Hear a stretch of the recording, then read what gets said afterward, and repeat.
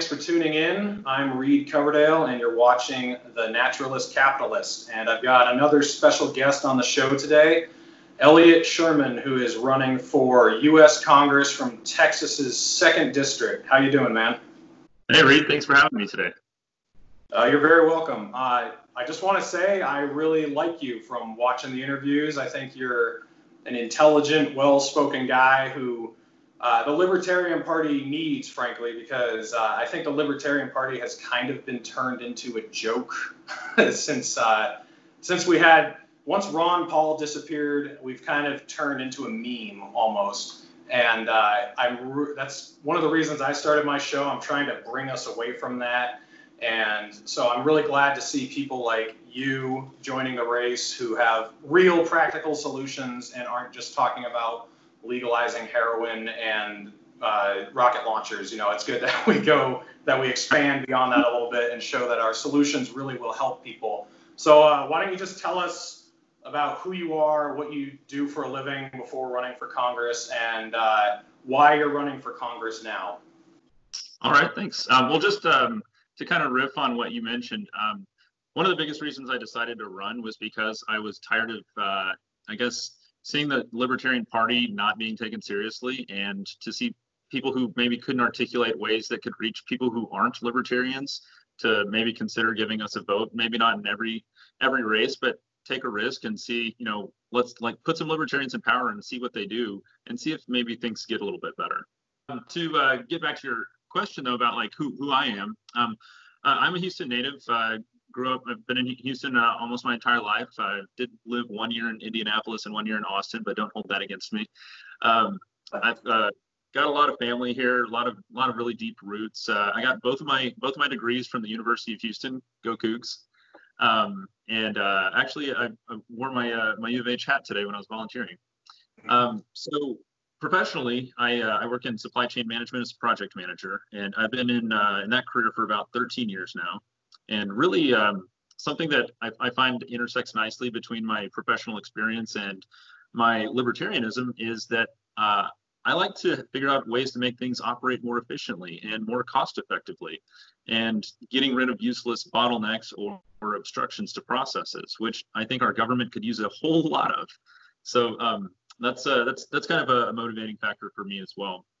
Um, a couple things that have uh, amused me so far throughout this campaign is uh, people are like, you're you're a little bit young, don't you think, to be running for this office? And I, I like to point out that the I'm actually a year older than the incumbent, um, and I also have actual uh, you know business experience uh, you know under my belt with my MBA. So there's a little bit, about that. So uh, what are what what are your top issues that you're running on? Like, give us your top three issues uh, that are the most important to you, and what your what your plans are and your solutions are for those three issues. Well, for me, I don't really think of issues like something like on a restaurant menu. I think of what is a guiding principle and then kind of build out from there depending on whatever the topic is. And my guiding principle with not just my campaign, but my life in general is reducing harm to people.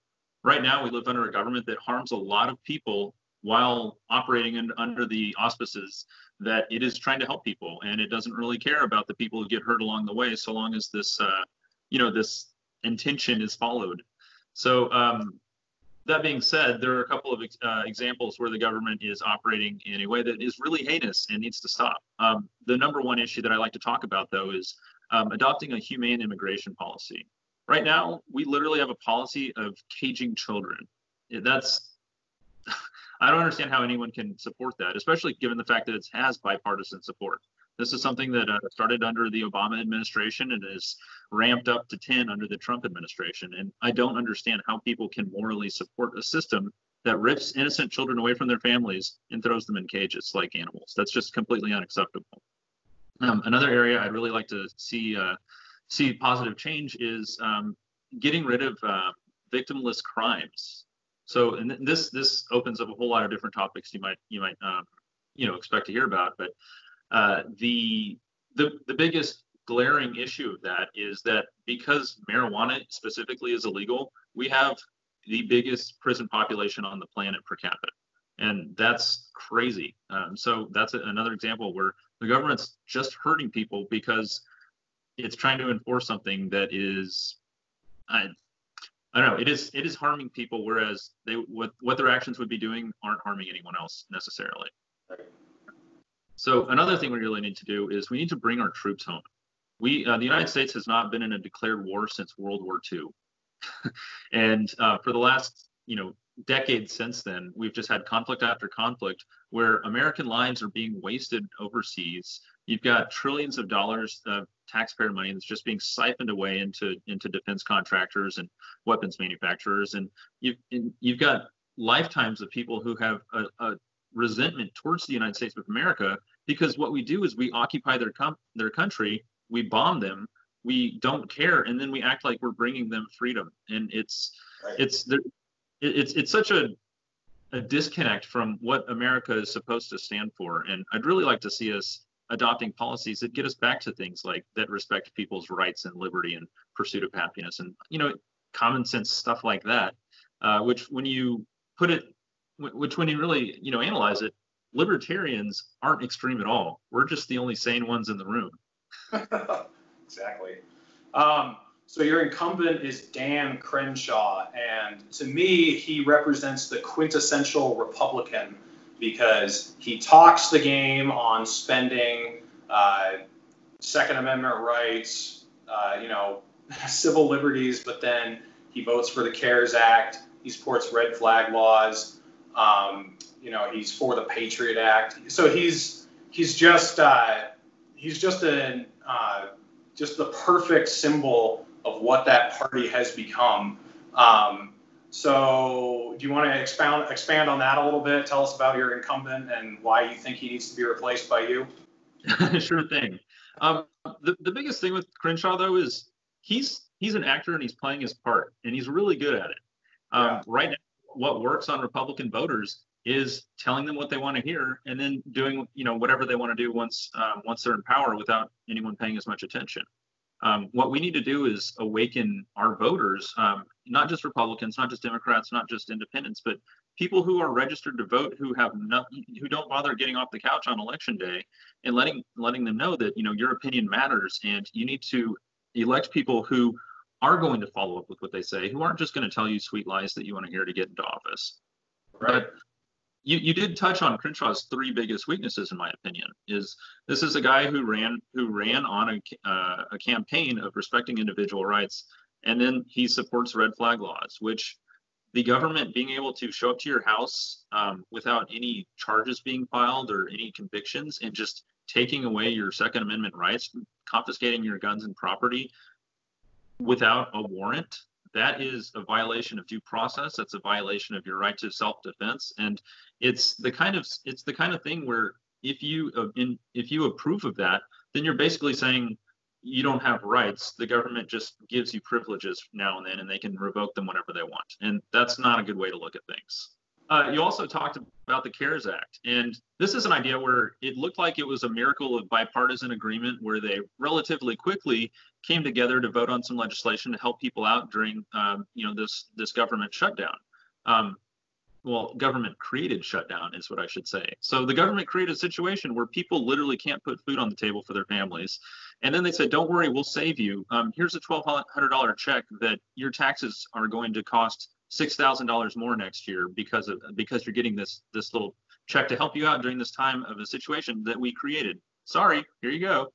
Um, it's it's completely unacceptable. It's um, it's I would say it's similar to predatory lending, except with predatory lending, the people actually get a choice to sign on that dotted line, you know, to get that cash. Uh, so we just have a situation where the government creates creates a situation where they they need to come be the saviors, and their method of saving is more destructive than it is helpful.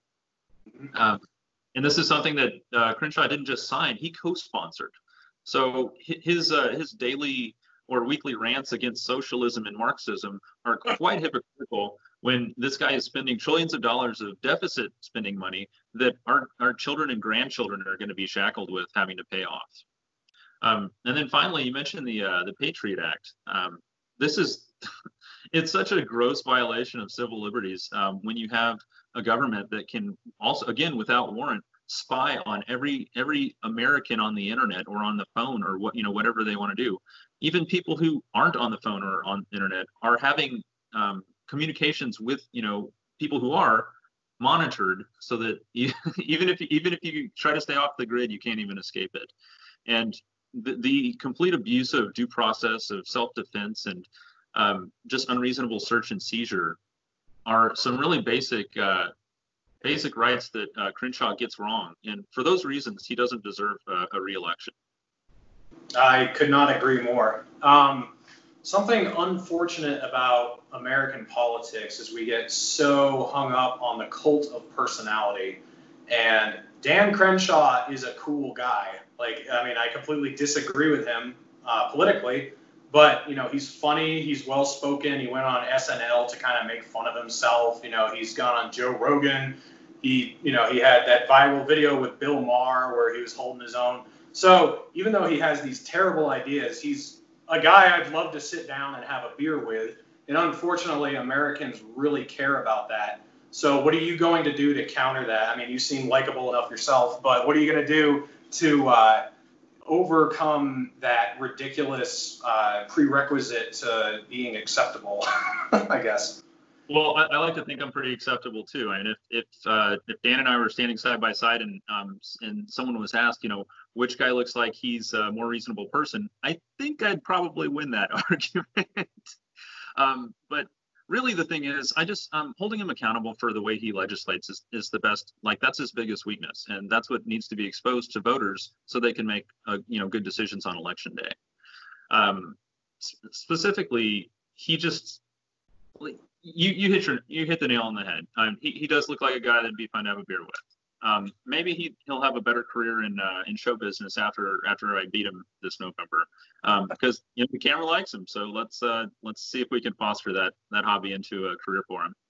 Yeah. So um, how are you going to show people that his legislation has hurt them personally? Because things like the Patriot Act, you know, a lot of people don't even care if they're being spied on, and then I hate to say it, a lot of Americans are selfish. So if you talk about the situation at the border, that it doesn't affect them, they don't care. And then the other thing is, even though Crenshaw is horrible on legislation compared to what he said he was going to be, that's how everyone is. You know, a lot of Trump supporters are still absolutely in love with Trump, even though he's betrayed a lot of his campaign promises. And you can confront them on it and put the facts right in front of their face, and they still don't care. They're just like, well, he's Trump, and I support him. Um, so what what what specific issues um, in your neighborhood, like in Houston, can uh, you really show people that you're going to improve, that he has not improved, and uh, that will hopefully get you to the point where people realize that you're the one who wants to help them and that Dan Crenshaw doesn't care. Well, I, I like to I like to position myself kind of as a stark contrast to Crenshaw in a lot of ways. Um, he spends all of his time on social media hawking his book or or you know going after Nancy Pelosi and blaming everything under the sun under Democrats and you know that that's it's it what it, it uh, results in basically empty rhetoric. Um, I I actually am I'm a Houston native. I've I've grown up here my whole life. Like I said, I've got the family here. I know this I know this community. In fact, just this morning, I spent um, several hours out in the heat at, the uh, NRG Stadium where the Texans play, um, helping the Houston Food Bank load up uh, and distribute food into people's cars. The line of cars was heartbreakingly long. And these are people who can't, you know, have lost their jobs. They can't work, and they are completely and totally reliant on, you know, the help from charity to be able to even eat.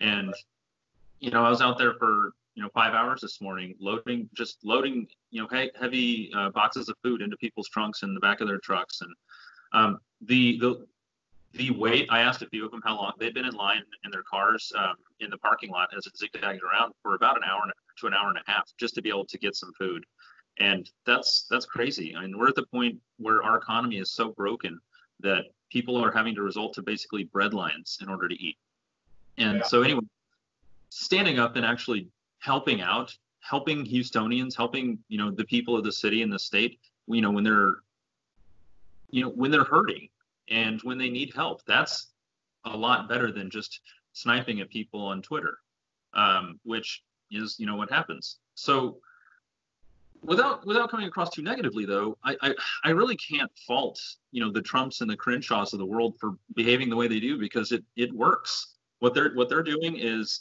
they're creating an us versus them mentality um, and they are rallying people behind a story that is totally you know divorced from the way they actually legislate. So you have people who are just so angry at what the um, evil other could do that they abandon reason. They they don't look, they don't follow up. They just say, okay, this is the person who's going to beat that guy I really hate, and it's it's a really negative outcome of the way our voting system is.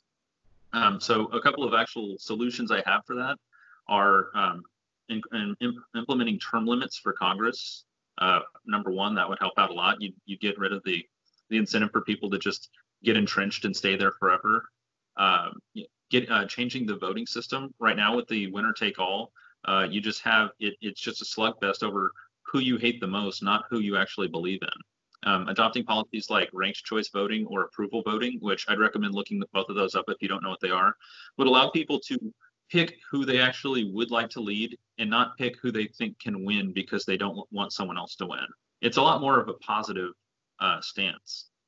Um, yeah. Another thing is um, we really need to be reaching out not just to the extreme fringes of the parties, um, you know, to get so we don't get primaried, um, you know, for the Republicans and Democrats, but reach out to everyone. And this, if you're going to be a representative and you are representing 19% of the population, then something's wrong um, what you're doing at that point is just appeasing and keeping them angry and whipped up so that you can stay in power. You're and you're completely ignoring the rest of your constituency, which is not what representatives of any any government position should do. Right. Um, I had uh, Darren Hamilton on the show last night, and he listed almost all the same things that you just did for voting reform. And I'm really glad to hear libertarians start talking about that because they need to realize without these reforms, nothing's going to change. You know, we need to have our system. Uh, it needs to be transparent and it needs to be representative of what the people want because it's moved so far away from that that we're not even uh, most people don't even bother to vote anymore. Um, do you want to talk a little bit? I've heard specifically about your idea for uh, allowing people not to go to the uh, polls to vote, but also making sure that we don't have any voter fraud. Sure. Um, so this is actually something that is not a U.S. you know representative job. It's just something that I see a solution here in Texas that that could use uh, fixing. Um, so to give give you some more context, uh, Texas uh, legislative legislators meet once every two years for a legislative session. So there's some good side and some bad side of that. Uh, the good side is that you don't have to constantly worry about what they're passing next. You can just like save your outrage for a specific short amount of time. Um, the downside is uh, it's very hard to react to emergency situations like we find ourselves in now. Um, so the Texas Democrats tried to allow uh, statewide mail-in uh, balloting for people uh, since you know the pandemic's going on, and they want to allow people to be responsible and safe and not have to uh, amass in large crowds just to exercise their their civic duty. And the Republicans screamed, you know, screamed foul, and they said, no, this is going to open up a can of worms for voter fraud.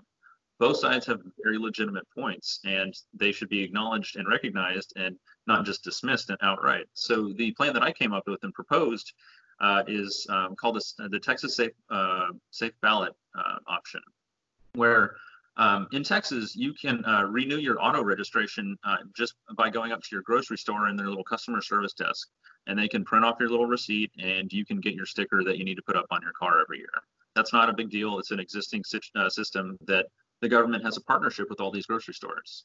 Now, my plan would allow you to use that those that distribution method to just go and get your uh, show your voter ID and print off your your personalized ballot for everything that is local all the way down to your precinct, and um, allow that allow you to pick those up up to a month ahead of early voting starting so that early voting in Texas starts on October 19th. So September 19th, presumably, if this gets passed, you'd be able to go to your grocery store, get your ballot, and then you'd have four weeks to actually research all of the names on the ballot and make an informed decision about who you want to support.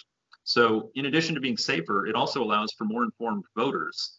I can think of a few politicians who maybe don't want more informed voters, but uh, I think that this is overall good for you know for our society and for the environment in which we live. So the the the part of it that retains the safety uh, or the voter integrity rather to uh, prevent fraud is that whenever you drop this off during um, you would drop it off at a regular polling location during um, you know during the normal early voting or election day periods and you'd still have to sign uh, your your name just like you do if you vote in person so you could have it where you drive up sign a clipboard you know get a hand wipe for the pin you just touched and drop off your printed ballot and it's I've uh, I've personally called every Texas legislator, um, House and Senate, and emailed them uh, with the information about this proposal. I've had a few nibbles back of people saying, "Oh, that's interesting, maybe for next time."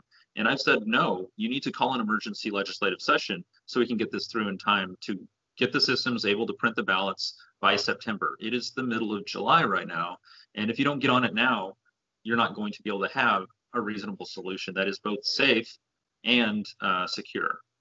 One other thing that adds another wrinkle to this is that Texas, fortunately, recently uh, got rid of straight ticket party uh, voting.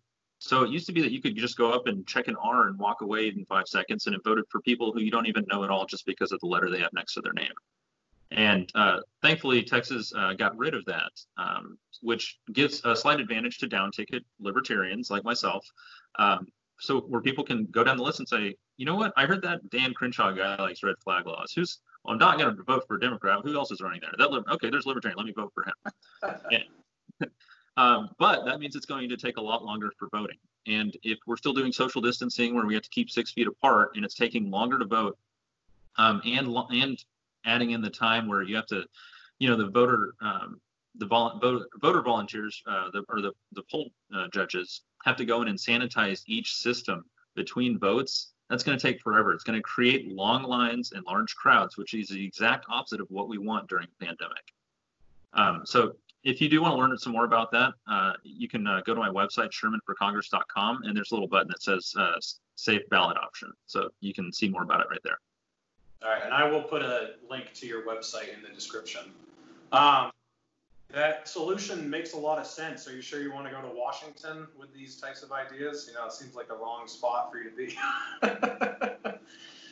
um, well, I think Washington could, could use a dose of sanity. Um, so definitely. Um, so one thing that people who are against voter ID, they say that it uh, it makes it so really poor people can't vote because they can't afford to get an ID. So are you in favor of some sort of uh, free identification so that everyone can vote? Absolutely. I think that we should remove absolutely every obstacle to voting. And this is this is uh, we don't want to disenfranchise anyone. We want to be inclusive. We want everyone to have their voice heard. And I um, I, I, definitely lean in the direction of I don't care if it hurts me uh, politically. I think it's more it's more important to have integrity and to make sure that everyone is has the easiest possible route to being able to vote. I mean, if it were up to me, I would allow I would allow elections from your phone. I mean, right now you, you, can file your taxes online, but um, you can't vote online. Like everyone's got a smartphone. Um, I think that that would make uh, a, a, just a massive difference to the way uh, to the way things work and the way politicians communicate out to people. Because again, if you make it easy for that that group of people who are registered to vote and they just don't, I mean, that's a game changer. You awaken all of these people who they could be bothered to open an app on their phone and vote real quick. I mean, it's, uh, I just, um, my preference is always to uh, be more inclusive rather than, uh, you know, rather than try to diminish people from participating. Okay. So uh, let's dive in on uh, some more of the issues. Let's go back to the ones you mentioned that are really important. So you mentioned kids in cages at the border. Um, why don't you just kind of lay out um, in a summary what your views on immigration reform are. What should we do to have a humane system? Uh, oh, something a lot of libertarians support that gets a lot of people worried is open borders. What is your view on border security? How much should we have? What's reasonable? What will work? What will give us comprehensive reform? And what will be compassionate? Just kind of give us your views on that. Okay, well, from from a security standpoint, I think that the passport system upon entry to the country is sufficient. And you have people, if, if people go through, a, you know, controlled entry and you know show that their information, make sure they're not wanted with Interpol or something crazy like that. I, I think that's totally fine for uh, to address security issues. Um, um, the approach that I take though with immigration is one that is uh, really respectful of property rights. And that's something that most people don't really initially expect when they think about it. Um, from from my perspective, the denying a person's right to use their property how they want is um, in order to control uh, something like immigration is really wrong. Um, if a business owner wants to hire uh, someone who was not born in this country and they're they're all consenting adults and no one's getting hurt in the process, then they absolutely have every right and should be able to just hire who they want. If they want to have an international version of you know monster.com and you know li- list job offerings and have qualified applicants fill them out and they select them, there should the government shouldn't get in the way of that. So um, what this would do is it would allow people who uh, want to move to America to, you know, follow the American dream and make life better for themselves and their families. Um, it would streamline that process. So anyone who wanted to come work here, uh, I'm not saying instant uh, citizenship because I think that there should be a process to make sure that you, you know, are, are, going if you do want to integrate and become a citizen, that you understand what all that entails. Um, what I like though is the idea of a guest worker pass where you show up and you sign up and then guess what you don't have to fear you don't have to live in the shadows uh, fearing deportation or fearing you know having your family ripped apart and caged um, so what i'm talking about is allowing people who are consenting adults to be able to hire who they want. So that's for the business owner standpoint. So that's maybe something that not every american can really put their put themselves in those shoes and say well i don't own a business. I don't, I don't that's not a priority to me. But think about this like think about what you want to do with your own uh, private property like for your house. If you want to rent to an immigrant or sell your house to an immigrant the government shouldn't tell you that oh you can't do that um, and that's essentially what's happening when the government is saying that these people are illegal. They you cannot transact with them. They cannot work for you. So um, uh, spike cohen the libertarian party vice president nominee uh, really succinctly said it that um, Americans should have the freedom to hire, house, and host immigrants as they see fit without the government getting in the way. And I think if you address the security issues that people have um, by relying on a passport check-in type of situation and allowing people uh, have to have the ability to get plugged in and to work above the board. And yes, that means they would contribute and pay taxes, even though I don't like taxes very much. Um, it would get rid of the whole stigma of these uh, of people who think that immigrants are just a drain on the system because in reality immigrants aren't eligible for welfare by and large and they are paying sales taxes and they are paying property taxes on places that they are renting um, even if they're doing so under the board. So we need to just say understand that these people are here and they're part of the fabric that makes america unique and special. And we need to stop demonizing people just because they were born in another place. That's something that no one has control over and it shouldn't develop or it shouldn't determine what your worth as a person is especially not here in the land of the free. Yeah so the republican counter argument to that i think is slowly dying because people realize it's not true that they're stealing our jobs and they're taking our welfare money. I think i think people realize that's not true. Uh, another argument, though, and this comes more from the left for people who are not for open borders, they say that um, open immigration like that and allowing you to hire people for whatever you want, what that does is that allows corporations to hire Mexicans for a dollar a day or some ridiculously low price that uh, comparative to Mexico wouldn't be that bad, but Americans would never work for, and that it's really just a scheme uh, for corporate America to get rich off the back of immigrants without having to pay people a uh, you know a reasonable wage. What would your response to that be?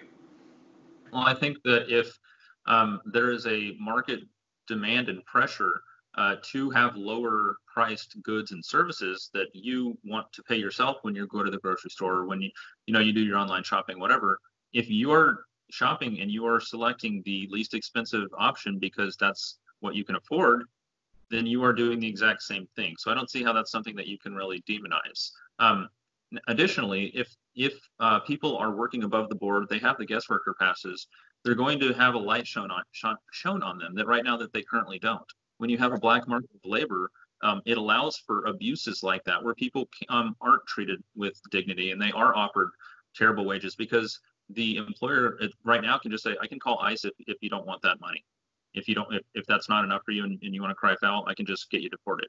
And that's a terrible imbalance that exists because the government creates a situation where these people are not legitimate um, you know they're they're treated as not legitimate, and that's this whole thing. It's a it's it's kind of a self uh, self uh, fulfilling circle where you know we just we have people who are forced into the shadows by government policy and then abused because of it. And I feel like a lot of that abuse will go away when you have when you have uh, some you know some sunshine uh, shown onto it, which act, acting as a good disinfectant for that ill. Um, it also typically means that if you have a large pool of people willing to work for less, then the market's been a little bit distorted and maybe needs a correction. So not every job is going to be, you know, a fabulous high-paying job, and that's just the unfortunate reality of any system. Um, there's there's some jobs that are in more higher demand. There's some jobs that are in lower demand, and that's always going to be the way it works. And depending on what you as an individual laborer can offer and contribute is what determines what people are going to pay you. So if you have a if you have a marketable skill that employers want, then you can command, you know, you have more room to negotiate a higher wage.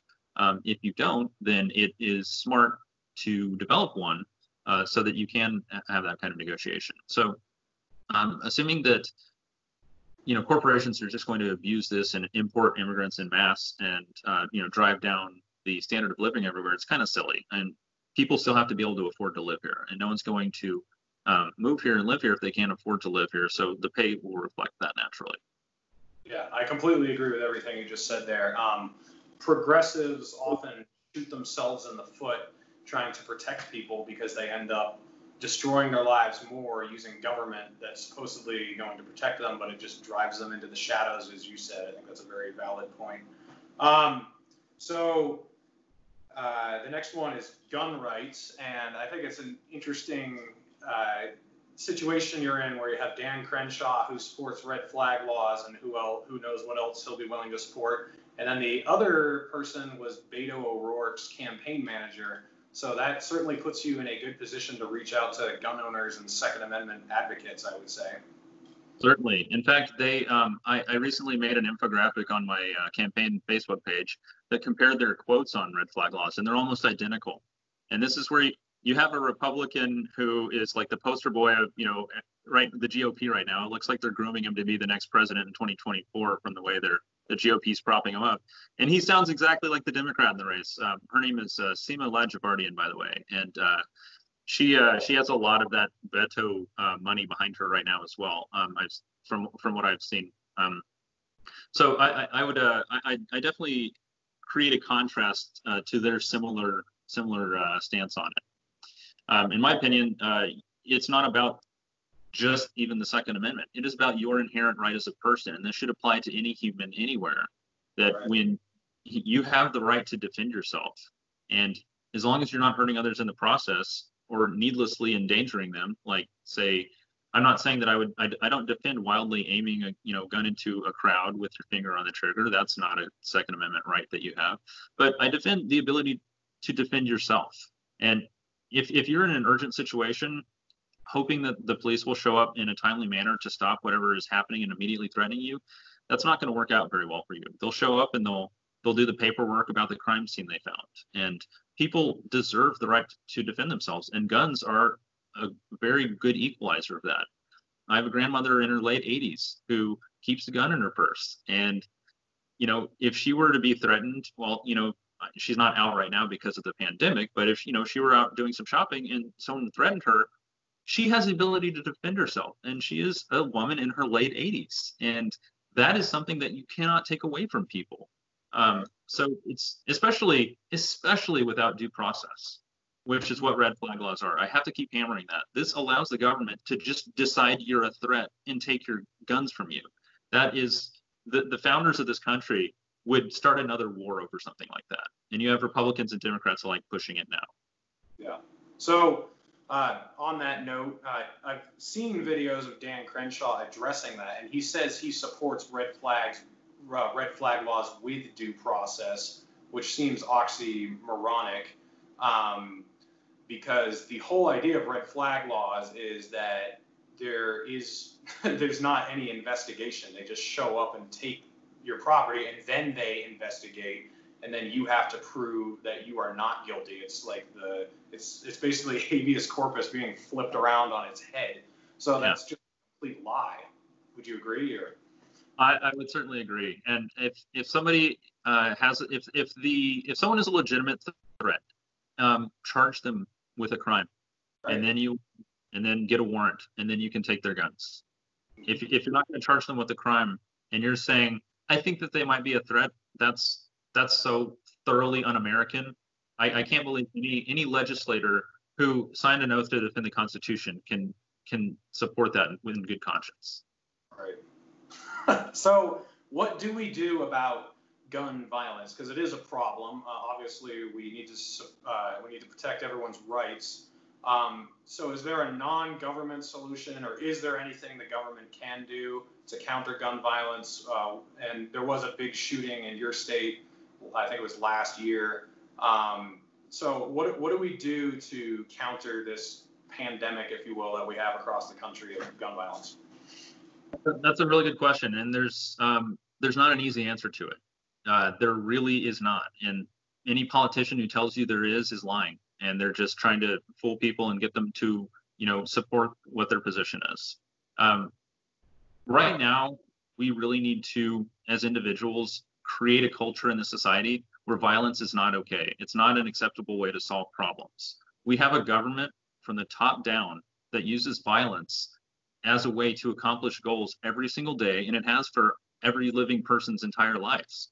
Um, that culture needs to stop and it needs to change.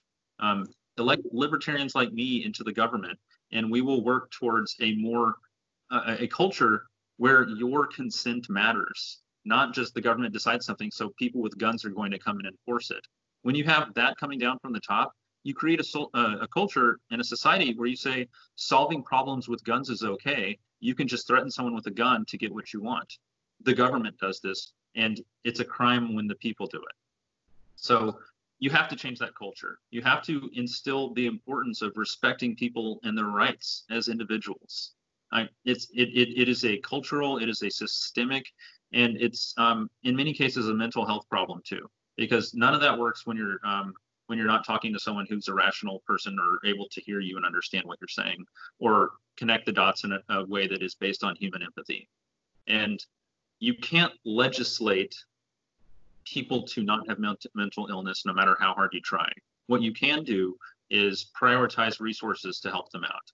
Now, I don't I don't like government programs in almost every situation. I think that the private sector or you know people voluntarily exchanging money in exchange for goods and services is going to work a lot better than the government doing it but if the government is going to tax us and it is going to spend money on things then i would drastically favor cutting a huge chunk of say military spending like maybe let's stop blowing up brown people on the other side of the planet and maybe spend some money on more mental making more mental health care access more available here. Um, so it's really about reducing harm which is what i'm going to get back to every time when we're talking about um, you know these different topics. So if um, one way that we could also, and this is this is an actual policy solution that that would significantly help, is allow people to vote with their tax dollars. Anytime they file a tax return, they should be able to select um, a certain amount of their own personal discretionary spending for how their taxes get spent. So I don't like paying for drones. I don't want to do that. I want I would rather pay for something like supporting mental health or supporting education or supporting infrastructure uh, there's so many different ways you can positively allocate the tax dollars that if the government's going to take them anyway, but like you should be empowered as an individual to decide how your taxes are spent. In fact, it almost that idea almost completely invalidates the uh, the job I'm running for. Um, you know, why do you need a representative if we have the ability to instantly communicate who you know what we want as people? We don't need other people to represent us. We are quite capable of expressing our opinions. Twitter is a great example that people can express their opinions. Um, and being able to allocate your own tax dollars, I think, would solve a lot of this too. Well, man, you have very nuanced answers, and uh, this is what, uh, going back to what I was saying a lot earlier, I'm glad to see people like you in the party who actually think about this and don't just have, even though you do have the doctrine of harm reduction you don't have a rigid doctrine of uh, you know, just a blanket statement for everything. I'm not going to, you know, check this issue out in more in depth or whatever. Like you, you've obviously thought about all these things. Um, and so I kind of want to segue to some third rail issues for the Libertarian Party lately. I want to talk about environmental regulation. Um, that would be one of the very few areas that I think the government has actually done a very good job. If you look to 50 years ago, if you looked at the lakes and rivers, you know, there was tons of pollution, and then we had the EPA. And even though the EPA has its problems, and I think we should audit it and we should cut it where it's being unreasonable, I think it's an institution that we should keep. Or uh, at least if we get rid of it, we should merge it with something else. We should have some sort of government oversight as to uh, what people are putting into the rivers, what people are putting into the air. And then the other half of that, um, I'm a big supporter of federally protected lands because um, I think, you know, when the Constitution talks about the general welfare of the people, I think that's a phrase that gets abused a lot. Uh, and basic people use it to say, oh, well, that means we can do whatever we want. And I don't think that's true. But I think the national parks are a good that every American can enjoy. And it's not there. I don't think there's really a free market solution to it because uh, with healthcare, you can argue for a free uh, free market solution because there's competition. You can choose this one, choose that one. There's only one Grand Canyon, and once you line it with hotels on both sides, it's done. Once you cut down all the redwoods, they're done. Uh, so if we just sell them off to the highest bidder, um, you know, I have no faith that these beautiful lands will stay protected. So, so what do you think the federal government's role should be in environmental protection and protecting our uh, natural wonders? Excellent, and I'm glad that you're not just throwing me uh, softballs here. It's, uh, it makes for a more meaningful discussion when we can actually, uh, you know, peel back the onion a little bit. Yeah. Um, I'm going to talk about uh, federally protected lands separately from environmental protection. I think those are two separate topics. Um, so I'll start with environmental protection. Um, surprisingly, in a lot of ways, when you have a, um, oh, I'm sorry, it looked like you froze there. There, you're good. Um, when you have a private sector uh, motivation to, you know, preserve something, there's a fine, you know, it it works. Um, look at all of the uh, endangered species, uh, many of which are thriving. There are there are some more um, endangered species uh, native to Africa that are present here in the state of Texas because the state of Texas allows people, um, property owners to um, you know to uh, raise endangered animals, and in some cases they even allow hunting for them. And their profit motive to have that kind of animal, you know, be a continued source of revenue is their private sector motivation to preserve you know those animals from going extinct. So it's one of these th- it's that's one of the situations where it's like that makes no sense. If you allow people to kill animals without the government protecting it then they'll get killed off. It's like well no there's a financial motive here. Now not everything is going to have a financial motive to save and there might be some i don't know some like weird frog or something that no one cares about that just gets you know steamrolled over in housing development and and then it's gone forever. and No one even knew it existed. So there is some validity to worrying about environmental concerns like that. Um, so I'm not saying that we need total, you know, market chaos and just like, you know, let let it go wild for that kind of stuff. So um, when we're talking about pollution, I think that the biggest silver bullet for solving pollution is to get rid of artificial limits to corporate liability for polluters. Absolutely treat it as a violation of other people's property and allow them to sue for the maximum damage that they can get. And you create a punitive uh, market-based system uh, that pro that makes people realize it is not cost-effective to uh, to pollute. Right now, however, you have companies that they can buy carbon credits, which is just paying the government for permission to pollute, which doesn't solve the problem. Um, you also have like I said, these artificial limits to corporate liability that allow companies to factor in how much they actually would have to pay out as a risk analysis to decide if um, if if if if we have to pollute, is it is it going to be worth it? Like, how much can we make versus how much? What's the total maximum this will cost? And when you have companies that don't have to worry about going out of business when they pollute and they just work it into the uh, part of their cost of doing business, you have the government systemically incentivizing pollution. Also, not to mention, the US government is the single largest polluting entity on the entire planet Earth. The US government is. And this is who we want to put in charge of keeping, you know, keeping this uh, planet clean and safe. I don't buy it. Um, what I think are really strong are a really strong solution rather would be um, allowing non-government organizations, NGOs, uh, to have the ability to enforce ag- against um, polluters and for anyone who wants to bring a suit against polluters. When you have an unlimited cap um, uh, class action lawsuit against a polluting company, you don't get companies like BP uh, bouncing back right away uh, after pumping, you know, hundreds of thousands of gallons of crude oil into the Gulf of Mexico. That just doesn't happen. A company like that gets shut down, and then every other company sees what happens and operates more safely. Um, I work for an oil and gas company, so I'm, this is not something that uh, I'm not like. I, I, take it very seriously.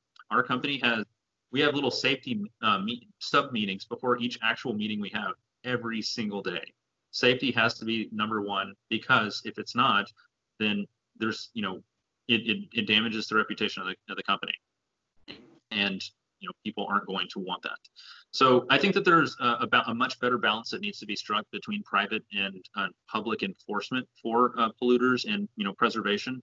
And what, what we have now is incentivizing all the wrong things, and it is allowing companies and individuals to minimize the risk of what they're doing without you know with, without a good incentive structure in place.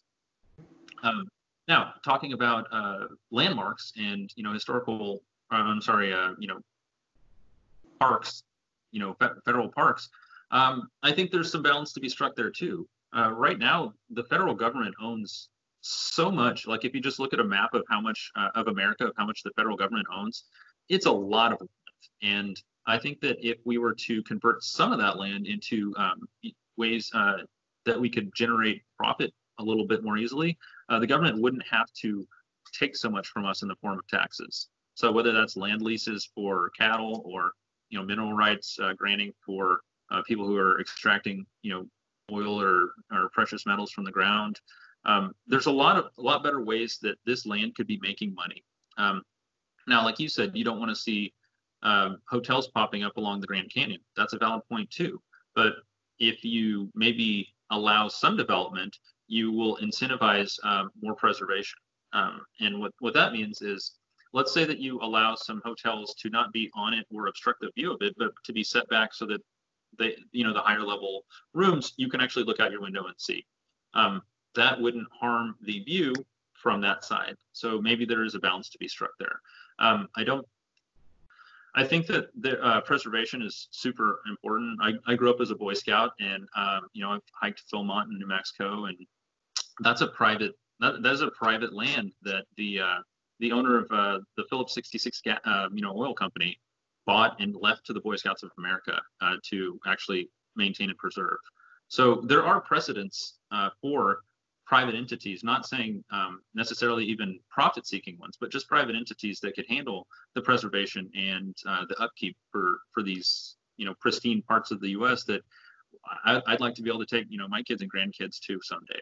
So there are, there's, there's a good argument to be made. And I don't think that any one side that says this is the only way that's right um, is really worth listening or is worth listening to or is really coming from a, a, a good place.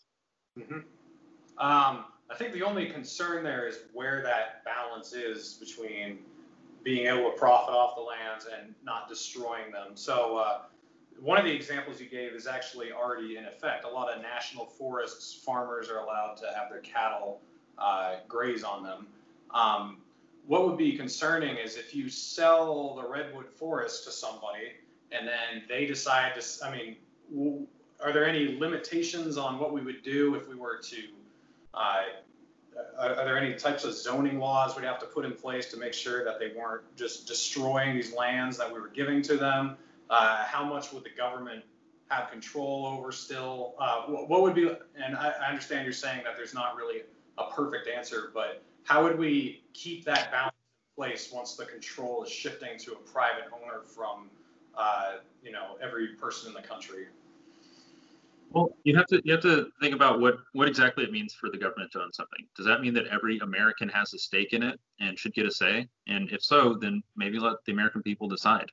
If the American people are part owners, if they're if you want to treat them all like individual shareholders of the Grand Canyon, and everyone maybe every every 10 years or so um, a, a, nationwide uh, ballot goes out and you say hey are you cool to opening up the grand canyon to commercial development? And let the shareholders of the country the people the voters decide. Maybe that's the answer. Um, i'm a big fan of realizing uh, my own humility and i don't have every solution to everything. I do give it every i do give my issues um, a lot of thought and careful thought to make sure that i you know i balance them out well but um, ultimately the the concept of a a single person or single entity knowing more than the collective intelligence of everyone is just ridiculous on its face. And people um, have the market, and as expressed by individuals making their own decisions, is infinitely wiser than any kind of central organizer. And I would not want to be a hypocrite myself and presume to be able to do that. Right.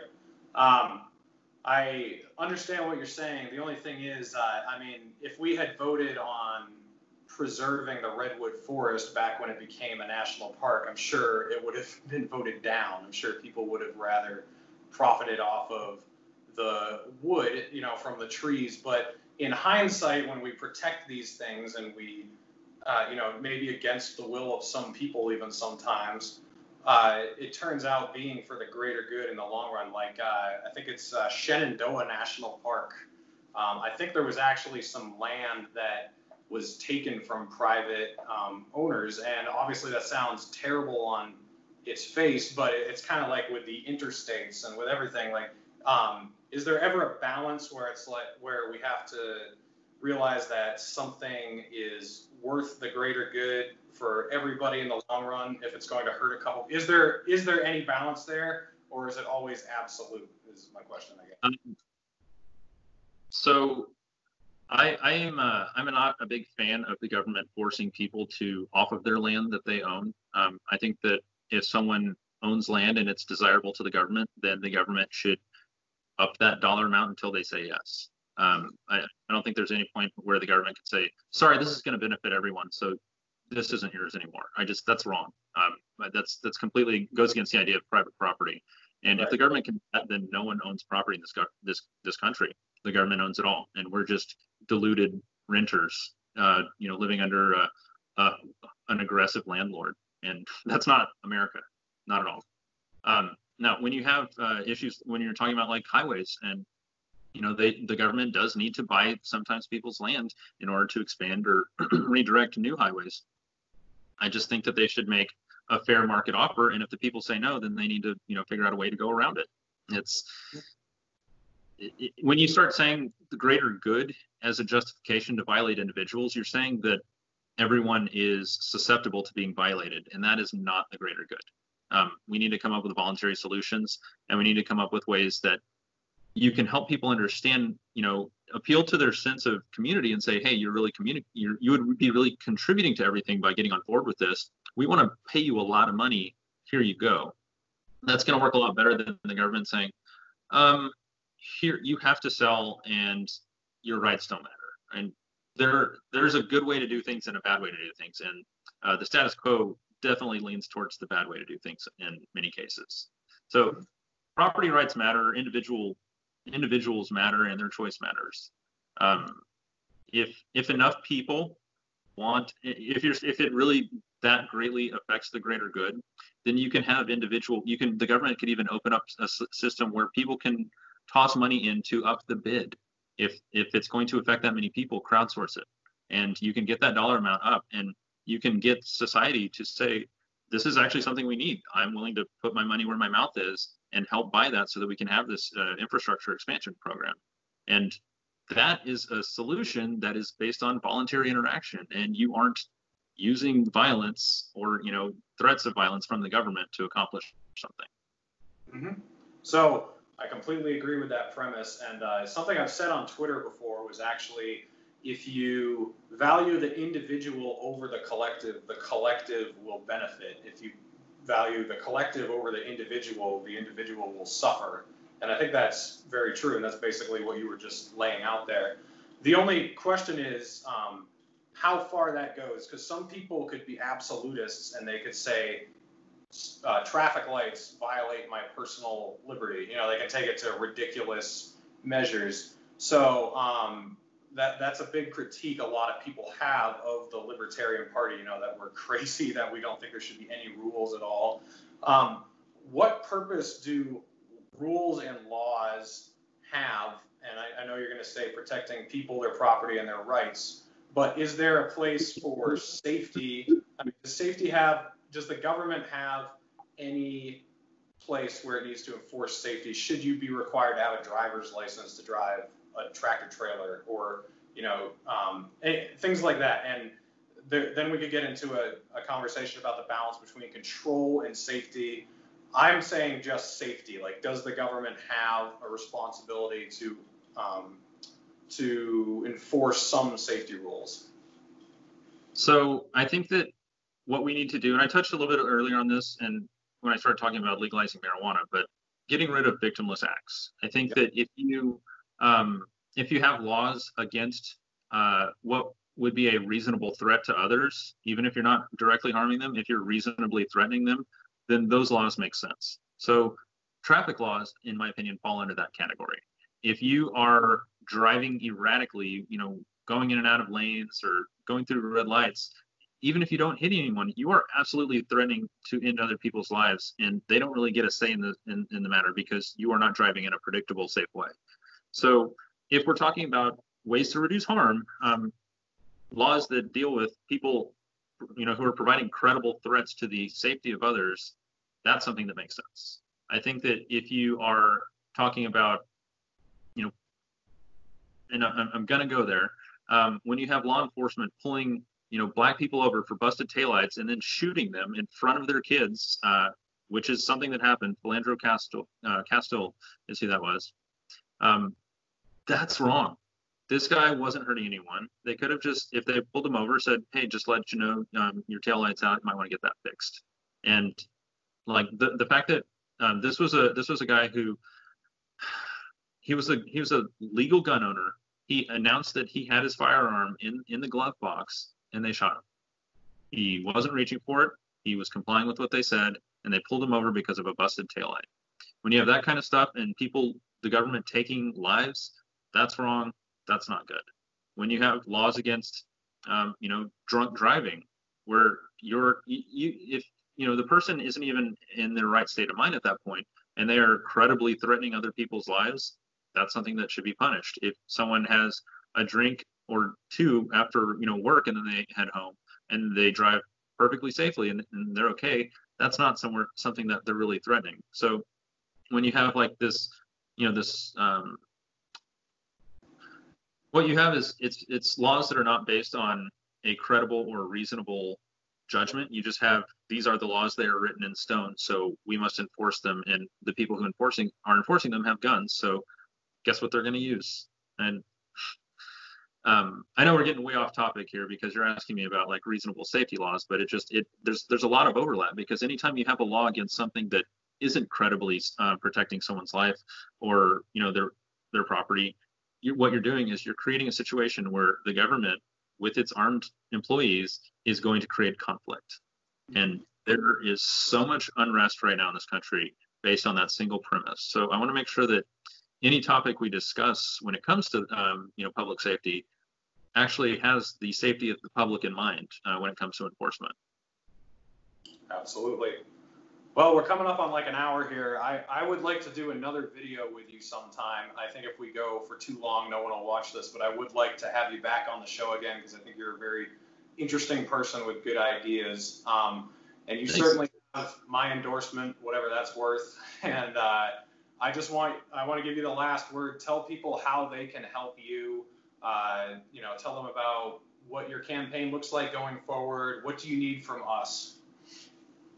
Uh, Great. Well, what I what I really need is people who um, are engaged on social media. Reach out to reach out to your local media, like actual media sources. Follow your follow your local broadcasters, your local writers for your newspaper, and tweet them about good candidates. Um, they're not going to write about us if they don't think there's any demand out there, and they're not going to write about us if it's just our campaigns reaching out. Trust me, I've tried a lot of that.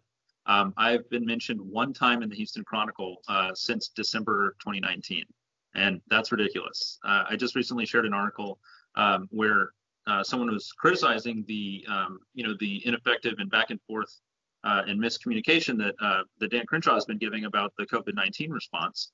And they got a really good quote from Sima, and I didn't get a call or a text or anything. So reach out to your local media, your local writers, your local uh, broadcasters, and say you want to hear more about libertarians because getting the media to let you know to communicate our message to the greater public is going to get traction. What we're saying is good. We have a good product that we're offering. We're just not getting any airtime so no one's seeing the commercials for us so to speak. Oh it looks like my dog's hungry right now so you're right to call this. Um, if you want to give me a follow i mentioned my website earlier Scheirman for congress. Um, i'm going to go ahead and spell it out because my name is misspelled constantly. S-c-h-e-i-r-m-a-n uh, for congress.com uh, you can follow me on uh, Facebook at uh, Scheirman for Congress. You can follow me on Twitter at, at Vote Scheirman and on Instagram at also for uh, at also on Instagram at Scheirman for Congress. Uh, Reed, I really want to appreciate and just thank you for having uh, for doing this. I know that you just recently started interviewing candidates, and I think it's gonna. I think the more um, you know, the more we can do to get our message out there, the better. So really, thank you. Absolutely, man. All right, guys, go to his website. Like I said, I have it linked in the video description. This guy makes sense. He's way better than the actor they've got in there right now. So go help him out. Do whatever you can.